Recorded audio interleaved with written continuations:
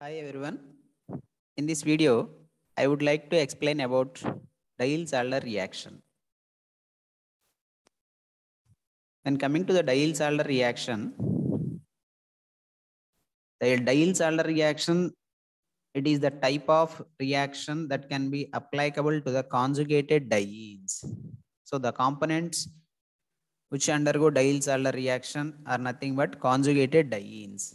So conjugated dienes reaction with dienophile. So here dienophile is nothing but it may be alkene or alkyne or even we can use the substituted alkenes or substituted alkynes.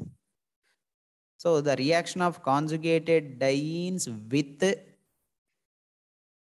dienophiles that leads to produce cyclic addition product cyclic addition product so here you can see that Diels-Alder reaction it is an important organic chemical reaction in which the conjugated diene it reacts with alkene or substituted alkene so not only substituted alkene or alkene we can use alkyne or substituted alkyne as dienophile. So commonly alkenes are alkyne components which are used as dienophile. Dienophile in the sense the alkenes or alkynes they act as diene lovers. Diene lovers. Dieno means diene. Philic means loving nature. So in this reaction you can see that the conjugated diene this particular carbon, it is going to be form a bond with the dienophile carbon like this. And uh, another end of the conjugated diene, it is going to form a bond with the another carbon atom of the dienophile like that. So you are going to get the cyclic addition product. So during that process, some bonds are going to be break down and some new bonds that are going to be formed. So here you can remember that uh, the Diels-Alder reaction, it is also considered as 4 plus 2 cycloaddition. 4 plus 2 cycloaddition. So why it is considered as 4 plus 2 cycloaddition in the sense, so here you can remember that why it is considered as 4 plus 2 cycloaddition means it is formed by the, that means the ring, the cyclic addition product ring that is formed by the interaction of 4 pi electrons of the conjugated diene with 2 pi electrons of the alkene or alkyne. That means 2 pi electrons of the dienophile. That leads to produce cyclic addition product. That's why it is also called as 4 plus 2 cycloaddition. 4 plus 2 cycloaddition. And here you can see that. So this particular Diels-Alder reaction, that means the reaction of conjugated diene with the dienophile that leads to produce the cyclic addition product. So in this particular reaction, if you are using alkene as the dienophile, it gives uh, cyclohexene as the cyclic addition product. Cyclohexene as the cyclic addition product. Or if you are using substituted alkenes, you are going to get the cyclohexene consisting of some substituents. So this is nothing but addition product that is going to cyclic addition product produced in this reaction. So here you can see some of the points that are related to this Diels-Alder reaction. So this Diels-Alder reaction, which is considered as a good example of nucleophile electrophile reaction. It is a good example of nucleophile electrophile reaction. So in this, the diene, that means conjugated diene, it is in electron rich and the dienophile component is electron poor. So hence the in this reaction, the conjugated diene, which is electron rich, it reacts with the, the electron poor component dienophile that leads to produce the respective cyclic addition product as the Diels-Alder product. So Diels-Alder reaction, it is a very good example of uh, pericyclic reaction. It is also considered as uh, the Diels-Alder reaction. It is also very good example with respect to that particular pericyclic reaction. Okay and uh, it proceeds via concerted mechanism. It proceeds via concerted mechanism. So concerted mechanism means uh, during the reaction process, the bond breaking and bond formation occurs in a single step. That is nothing but called as concerted mechanism. So once again, I repeat, concerted mechanism means bond breaking and bond formations in a particular reactions takes place in a single step. That is nothing but concerted mechanism. And this particular Diels-Alder reaction was uh, introduced by the German chemist that is Otto Diels and uh, Kurt Alder in the year 1928. So for their contributions in introducing this Diels-Alder reaction, they won Nobel Prize in the field of chemistry in the year 1950. And especially when coming to this Diels-Alder reaction, so the main important application of this Diels-Alder reaction that is used to synthesis of six-membered rings. So by using this Diels-Alder reaction, we can produce the six-member rings, six-member rings in which uh, the simultaneous construction of uh, two new carbon-carbon bonds that are going to be observed during the six-membered rings formation. And coming to the mechanism of Diels-Alder reaction. So the mechanism of Diels-Alder reaction, it occurs through the concerted mechanism. It occurs through the concerted mechanism. So already I told you that the concerted mechanism means the bond breaking and bond formations in a particular reaction takes place in a single step. That is nothing but concerted mechanism. So in this reaction, the conjugated diene, when it on reaction with the dienophile, that means it may be alkene or alkyne. Okay. So the cyclic addition that is going to be takes place through the concerted mechanism that leads to produce the cyclic addition product. So here it is, you are going to get the cyclohexene as the cyclic addition product. Okay. So in this here, you can see the conjugated diene and the dienophile reacts to give cyclohexene as the cyclic addition product. There is a net reduction in the bond multiplicity. There is a net reduction in the bond multiplicity. That means uh, the number of double bonds that is going to be decreased. That is nothing but net reduction in the bond multiplicity. And all the bond formations and bond breaking happen simultaneously in a single step. That is nothing but concerted mechanism. So here you can see how the cyclic addition product that is going to be produced. That means, so the conjugated diene, it acts as a nucleophile. Okay. So electron rich species. So in this, here you can observe how the cyclic addition product that is going to be produced. The conjugated diene consisting of uh, these pi electrons which are shifted over here like that. In such condition, this particular carbon, it gets the positive charge. Okay. And at the same time, these positive charge, which is going to be bind with the new bond formation with the pi electrons of the dienophile. So the pi electrons of the dienophile, it forms a new bond with these positive charge of the conjugated diene. So at the same time, if the pi electrons of the dienophile, it involves in the bond formation, automatically the another end side consisting of carbon atom, which is having positive charge. Okay. So at this time, the conjugated diene consisting of another double bond electrons, pi electrons, which is going to be form a bond with this positive charge of the dienophile. So that here you are going to form a new bond. So like that, uh, the cyclic addition that is going to be takes place through the concerted mechanism. So here you can see that how it is going to be takes place like this. You can see these electrons are shifted over here so that you are going to get a new double bond formation. Okay. And uh, here the positive charge that is going to be produced, this positive charge, uh, it is going to be form a bond with these pi electrons of the dienophile. So in this case, the conjugated diene consisting of another pi bond electrons, which are going to be form a bond with this positive charged carbon because those pi electrons of the dienophile involved in the bond formation. So here another new bond that is going to be produced. So like that. So in this case, you can observe that uh, the number of bond multiplicity that is reduced. So this pi bond that is reduced and even this pi bond that is reduced. Okay. And even this pi bond that is also reduced. But in this case, uh, these pi bonds are reduced, but at the same time, one new pi bond that is produced. Okay. The new pi bond that is formed, new pi bond that is formed in this reaction. So here you can see that the total number of pi bonds that are reduced in this reaction. You can observe the substrate molecules consisting of totally three pi bonds. This is one pi bond, this is another pi bond, and dienophile consisting of another pi bond. Totally the substrate molecule consisting of three pi bonds. But when coming to the product, you can observe only one pi bond that is there in the product.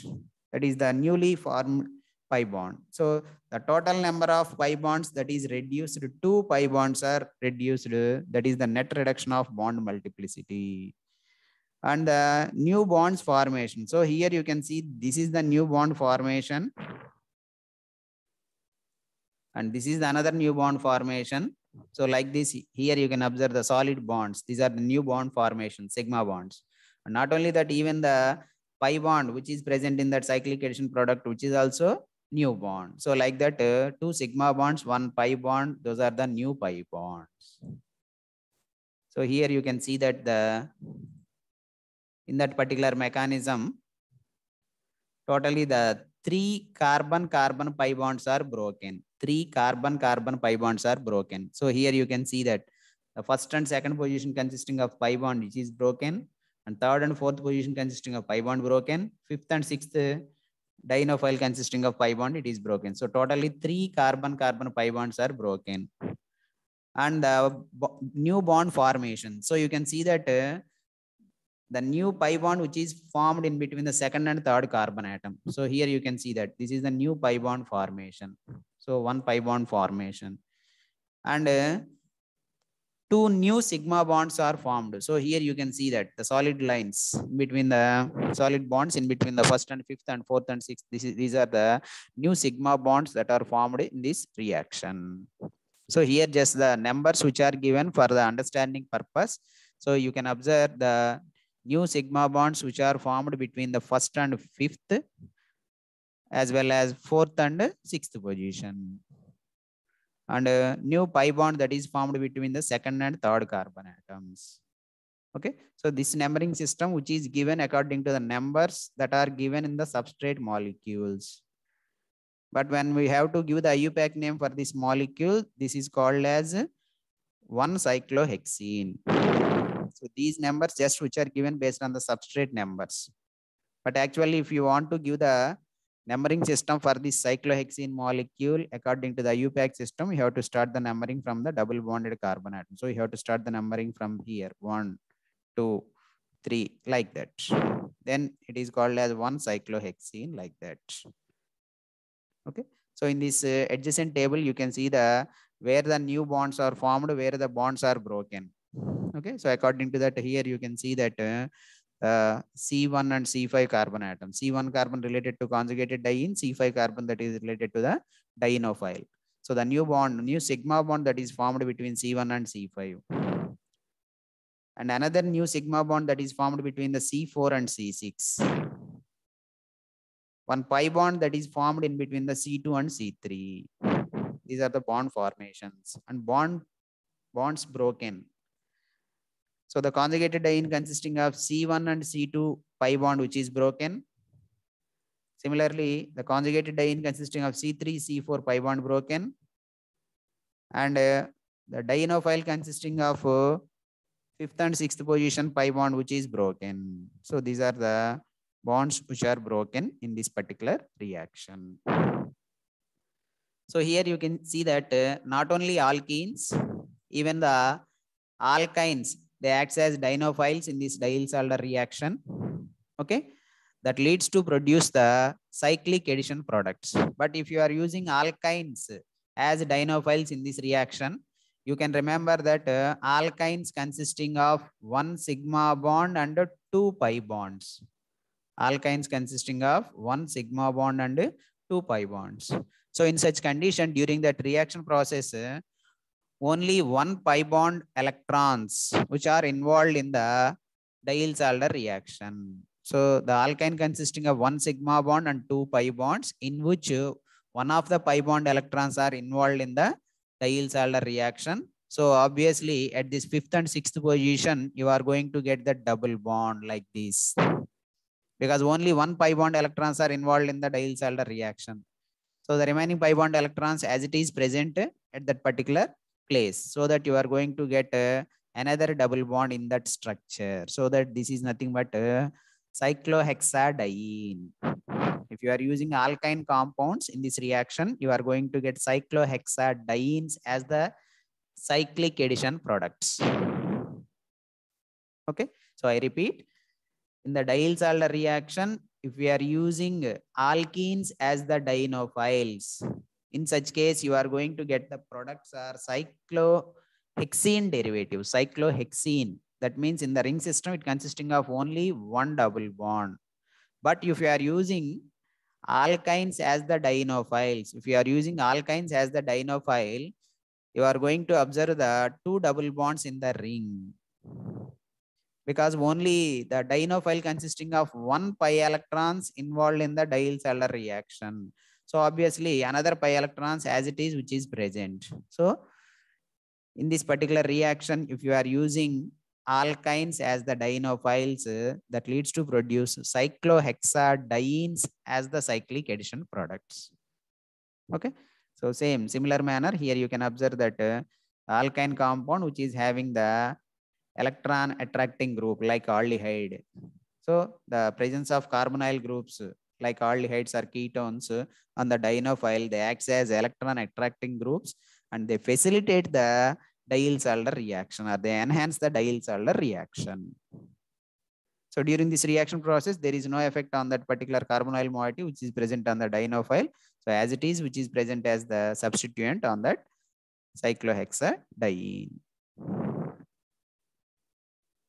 So here you can see that uh, the presence of electron attracting groups, the presence of electron attracting groups on the dienophile, the presence of electron attracting groups on the dienophile. The dienophile, it may be, you can consider it as the alkene or alkyne.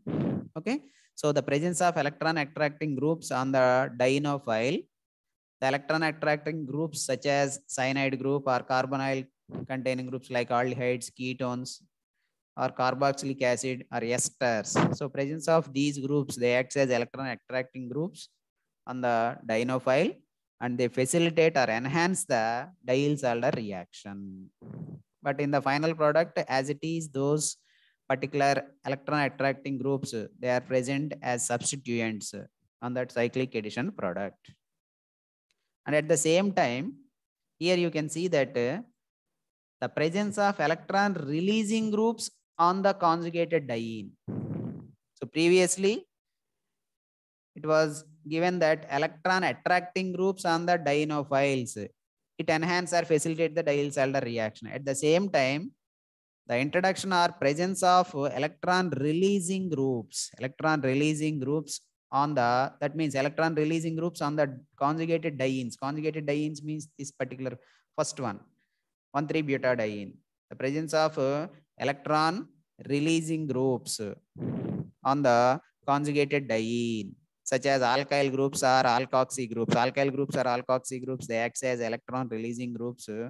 If the electron releasing groups which are present on the conjugated diene, they enhance or facilitate the Diels-Alder reaction.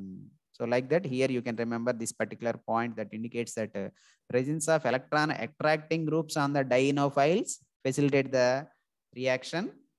And on the other hand, presence of electron releasing groups on the conjugated diene enhance the Diels-Alder reaction. And these are some other examples under the same Diels-Alder category. So here you can see that conjugated diene 1,3-butadiene, it on reaction with dienophile. So here the dienophile, it is the alkene, substituted alkene. It is nothing but dimethyl maleate, dimethyl maleate. Okay, so here you can see that uh, the substituent that is present on that uh, dienophile that is uh, ester substituent which is present. Okay two ester substituents which are present. So here the reaction that is going to be takes place in between this uh, dienophile alkene portion of the dienophile and uh, conjugated diene so that this portion it is going to produced as uh, cyclohexene, cyclohexene consisting of substituents, ester substituent. Okay, so like that, uh, you are going to get cyclic addition product. So in this case, uh, the cyclohexene consisting of ester substituents are there. So esters position that is first and second position so that uh, dimethyl ester of dicarboxylate, dimethyl cyclohex-4-ene 1,2 dicarboxylate. This is one of the example of Diels-Alder reaction. And another example under the same Diels-Alder reaction, same conjugated diene 1,3-butadiene, it on reaction with the dienophile. So here dienophile that is taken as a maleic anhydride. Maleic anhydride which is taken as dienophile. So here also the maleic anhydride consisting of this portion. You can see this portion, it acts as dienophile for this Diels-Alder reaction. So this dienophile portion, it reacts with the conjugated diene portion, undergoes cyclic addition that leads to produce this one as the cyclic addition product and the remaining portion of the maleic anhydride as it is, which is present in the molecule. So like that, uh, cyclic addition that is going to be takes place with respect to this Diels-Alder reaction. Thank you. For more organic chemistry related videos, please subscribe my channel and click on bell button for the upcoming videos notifications.